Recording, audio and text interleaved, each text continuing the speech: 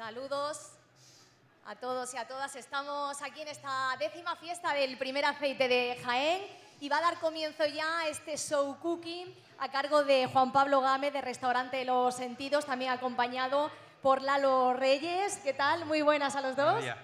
Buenos días a todos. Bueno, con ganas, tenéis vuestro micro, así que podéis Sí. hablar libremente. Y también me encuentro aquí con el diputado de Promoción y Turismo, Francisco Javier Lozano. ¿Qué tal? Muy buenas.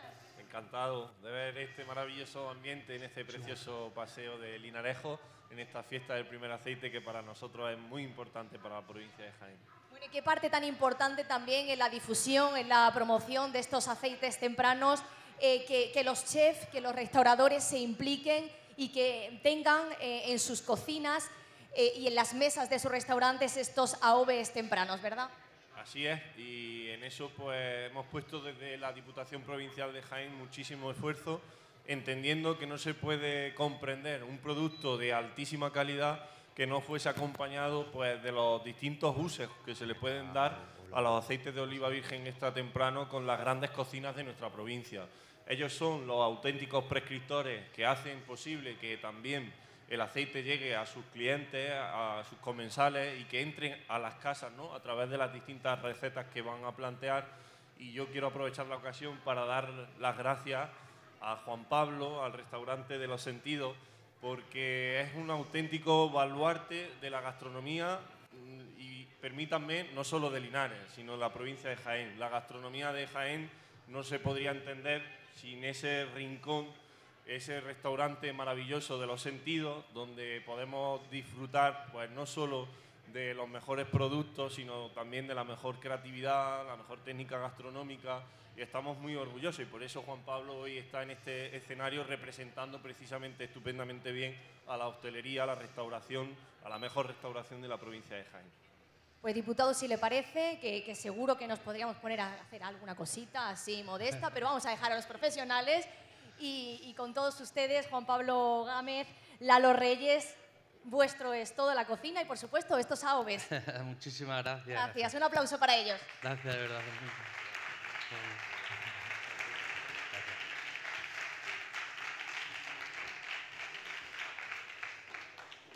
Bueno, buenos días a todos. Para nosotros estar aquí hoy y estar aquí arriba es algo maravilloso, ya que siempre que vamos o participamos en eventos siempre nos toca fuera un poco de Linares y hoy estar aquí eh, participando activamente en la feria de- del primer aceite, pues es algo, es, un lujo, es un lujo por poder participar. Entonces, bueno, le quiero dar las gracias a la Diputación, a Cámara de Comercio de Astil por, por, por contar conmigo para el evento y con Lalo. Y ya está, vamos a hacer una pequeña representación de los platos que hacemos en nuestra cocina. Estamos también a la paz de la fiesta del aceite, estamos también celebrando la ruta de la tapa de Linares. Entonces lo que hemos querido es reinterpretar platos que tenemos en el restaurante, basarlos a, a esa tapa y adaptarlos como tapa o, o pequeños bocados. Y em- vamos a empezar con un, con un aperitivito que utilizamos. Lo que queremos hacer, que no sé por dónde graba, lo que queremos es mm, esa morcilla de caldera que, que, es muy típica aquí, ese bollito de morcilla. Utilizamos un pan, una especie de masa de, de- pan como si fuese una masa de pan chino a base también de leche. Y lo que hacemos es ese picatoste, ¿no? Eh, ese pan tostado con su azúcar y tal, pero bueno, convertí un poco con... Vamos a darle esto caña.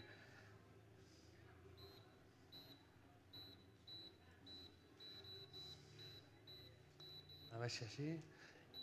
Bueno, utilizamos una, masa, la cual la boleamos, le damos forma y le damos primero un poco de horno para, para cocinarlo. Y bueno, primero la pasamos también por azúcar blanco. Una vez que está la masa hecha boleada, se, se deja en bandeja, se deja fermentar un poquito y pasamos por azúcar blanco. Una vez que lo tenemos ya emborrizado, cocemos un golpe de horno y la dejamos. Lo que hacemos luego es terminarla para hacer ese picatoste, ese pan, ese pan dulce. Es algo muy sencillo. Ponemos un buen aceite de oliva, Está templado. ya está empezando. Está empezando ya a coger color. Déjale que fría. Y por otro lado, acompañamos de esa morcilla de caldera que, que es muy típica de toda la zona de, de aquí, esa morcilla que, que no va entripada. Lo que hacemos es prepararla con, con un poquito de miel y conseguimos esta crema, ¿no? Una crema fina que la utilizamos pues como si fuese una, una Nutella. Al final estamos tomando un picatoste con un pan que por dentro es muy jugoso, muy blandito, acompañado con esta crema de morcilla, que es simplemente comprar una morcilla buena. Nosotros no la hacemos, la morcilla que hacer la base de muchísima cebolla, de sangre, muchas especias.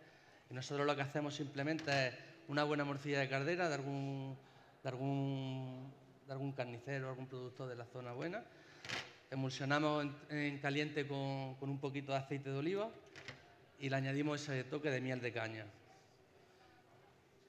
Una vez frito el pan, tenemos este, este panecito que tiene mucho brillo, queda muy crujiente por fuera. Ahora cuando enfríe, pues queda como cristalizado del azúcar al freírse, se, se le da como ese, ese toque de, de de cristalino. Lo abrimos con mucho cuidado.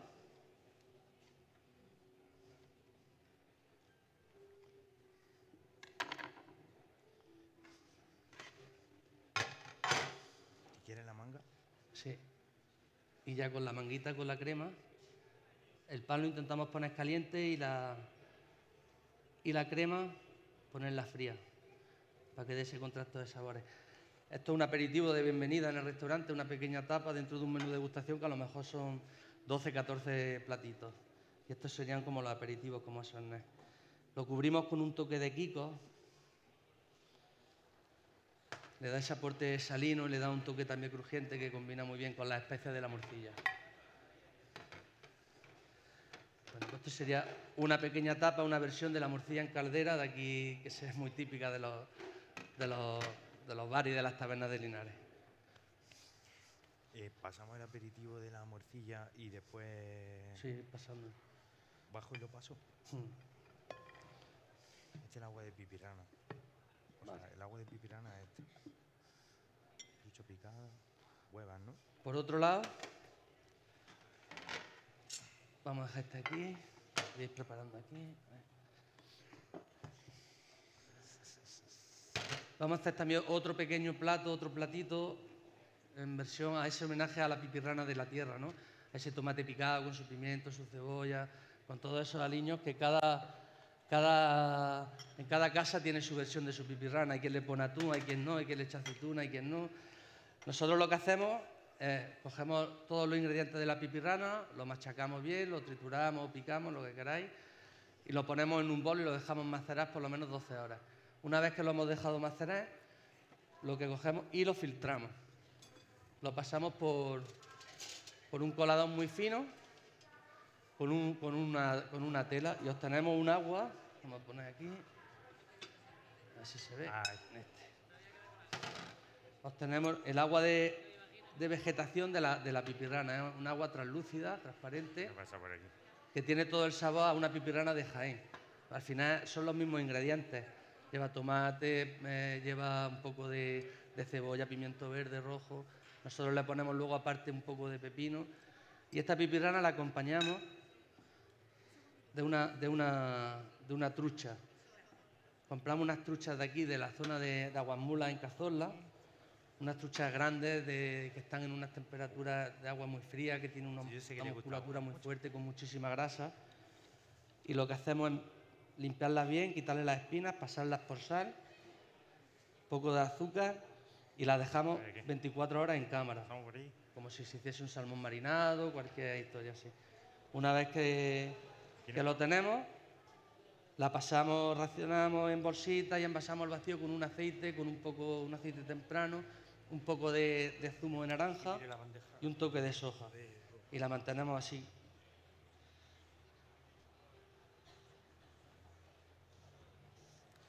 Por otro lado, esa verdura que lleva la pipirrana, Buenos días. pero muy picadita, en unos taquitos muy chicos. Es con lo que se le pone todo menos el tomate, el pimiento, la cebolla, pimiento verde y rojo y cebolla. Le ponemos su toque de comino, su toque de vinagre de jerez. ¿Veis por aquí? Y acompañamos también una cebolla encurtida. En este caso usamos cebolla morada, sobre todo por darle un aspecto visual un poco más bonito y darle color al plato. Que simplemente lo que hacemos es cortarla muy fina, muy fina, muy fina. La pasamos por...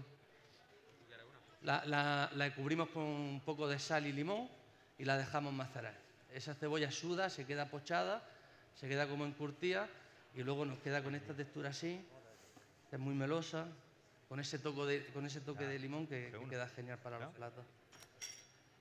Buenos días. Vamos a poner un- una hoja de capuchina, también produ- produ- vamos, Este producida aquí en Linares, una empresa que se llama Brote de Jaén, Ay, que están empezando, que están haciendo flores y germinados para, para la hostelería. Por aquí. Una hueva de la propia trucha.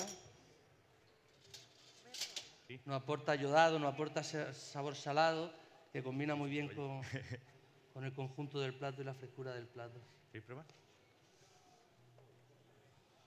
Y por último, a nosotros nos gusta ponerle un toque de pepino. Hay quien le pone la pipirana y quien no, nosotros se lo ponemos, pero con un toque un poco diferente. Montamos una especie de espumita, un aire que se llama.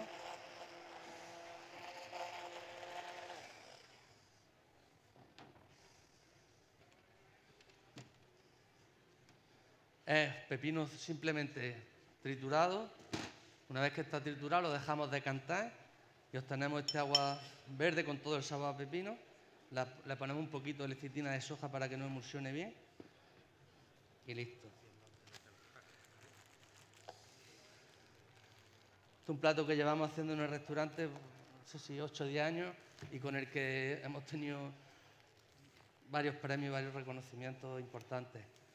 Y terminamos con un buen aceite de oliva picual. En este caso usamos picual porque el picual nos da ese verdor, ese frescor que, tiene también la propia pipirrana, ese tomate verde, esa, elegancia, y hace que nos potencie todo el sabor a tomate, a, a hierbas. Siempre que sea un picual temprano y de muy buena calidad. Bueno, pues esta sería nuestra segunda propuesta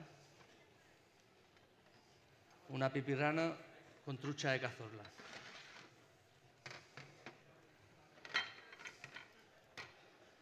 Nosotros para que degustéis de una manera más sencilla para poderla preparar para las tapitas que hemos traído, la hemos, hemos preparado una crema de esa pipirrana con la hueva de trucha y, un poquito de la trucha para que podáis probarla y más o menos lleve el mismo, el mismo sentido de, de sabor.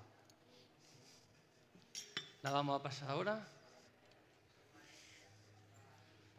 Alguien me echa un- una mano y yo paso una y... Pasando, ¿eh? Alguien por ahí. Esta hay que ponerle cuchara. Vamos a terminar de poner la cucharita.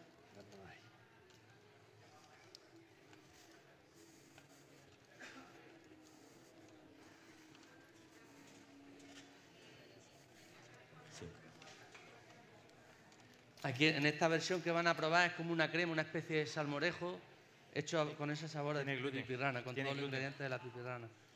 Tiene gluten porque está... Lleva la emulsión del aceite de oliva temprano también. Con un poco de pan.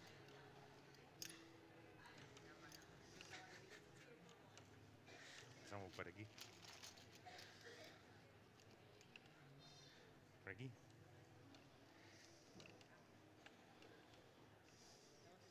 Vale, coge. ¿Sí?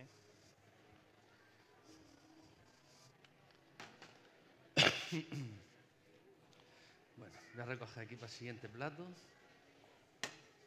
Vaya con otra bandeja por el otro lado, ir más rápido. Vale, gracias.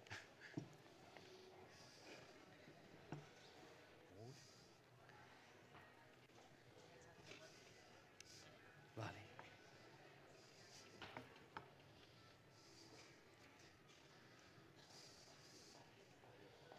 Paséis para allá.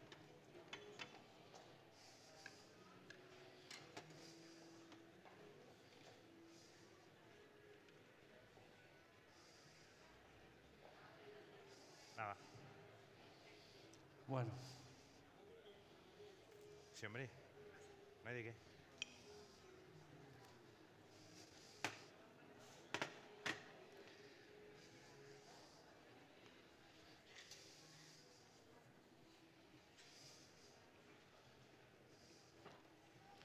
¿ya? Ya. Bueno, la última etapa que hemos preparado es un poco reconocimiento o, o recuerdo de, Mi tía era propietaria de la, de la pastelería Feliz de Amos, la original antiguamente, y yo recuerdo de chico de ir allí la gente a tomarse ese, ese, ese postrecito, ese tocinillo de cielo con su copita de mistela o vino dulce, y yo es algo que me gusta, que, que- lo recuerdo y bueno, y, y me, lo recuerdo con mucha alegría. ¿no? Entonces, hemos interpretado esa- ese tocinito de cielo como esa parte final de una tapa, ¿no? como, o, ese salir de etapa y al final tomarte ese postre allí. ¿no? Por eso ha sido esta, esta versión de, postre. Bueno, lo que hemos hecho, hemos elaborado un tocino de cielo tradicional, a base de yema de huevo, de almíbar y cocido al horno. Nosotros los cocemos al vapor, pero bueno, baño María, como cada uno, como cada uno tenga su receta, una receta sencilla. Lo que hacemos luego, una vez que lo tenemos terminado, es en un bol con una varilla emulsionarle como si fuese una mahonesa, aceite de oliva virgen extra, en este caso una arbequina muy temprano también con muchísimo aroma y nos, continúa ese dulzor del, tocino. El aceite arbequina de, de- de cosecha temprana tiene ese punto dulce que es el que me gusta a mí para este tipo de platos. Y luego ponerle ese contraste pues, a través de, de otros ingredientes. Hemos elaborado esta crema, un tocinillo, emulsionado con aceite de oliva. Sí, ahí.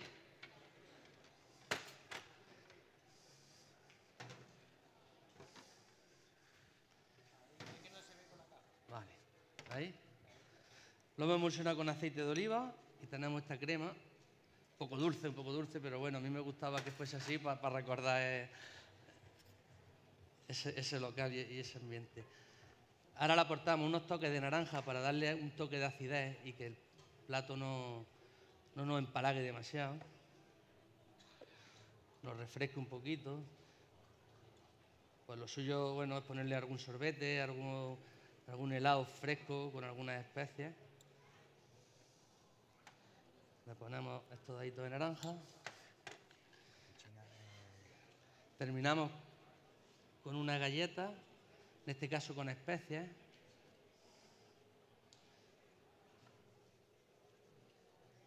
Y le vamos a poner unas semillas de pipa, que nos da un toque también herbáceo y nos da un toque como, como a frutos secos.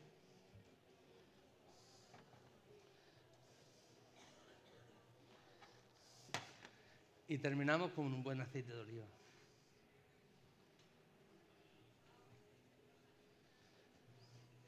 Y este, bueno, pues ese, fin de, fiesta de un tocinillo de cielo donde antiguamente, bueno, pues teníamos la costumbre esa o se tenía la costumbre que uno cuando se iba de etapas poder terminar y con tu vinito dulce y tu tapa dulce eh, eh, en otro bar, ¿no? En otro bar de otra manera.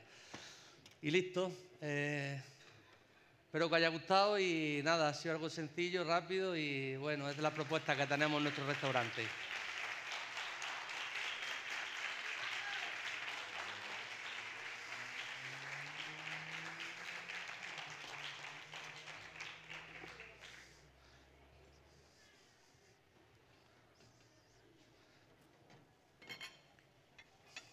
Este es para ti. Este es para ti que no tiene gluten. Es que no tengo más cuchara de plástico. Ah, ahora ya me lo llevo yo de vuelta.